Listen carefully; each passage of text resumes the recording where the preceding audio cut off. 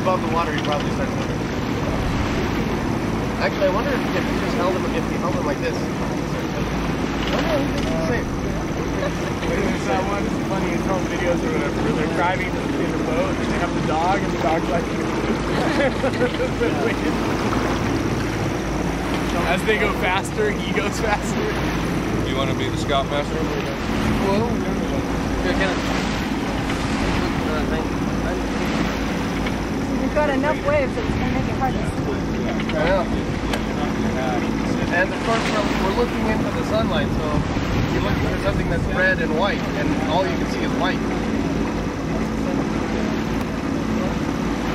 I bet you a seal already found that buoy and we had it today, but So we're staying a third of a mile now. we're getting pretty close. Where's the damn thing? You want it? Now we stop it. Yeah, they say we uh, anchored within Hey Diana, if we catch a crab, this is done. We're done sailing. This is up to the crab boat now.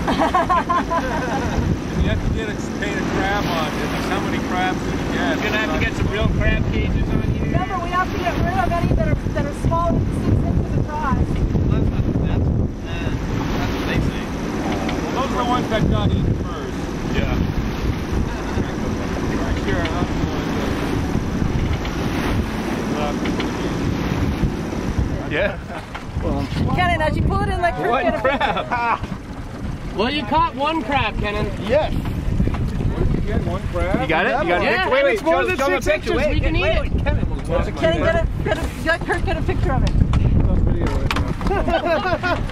Hey, it's so bummed. Look at him. Oh, dumb crab. I don't know if it's six He wanted the cat food.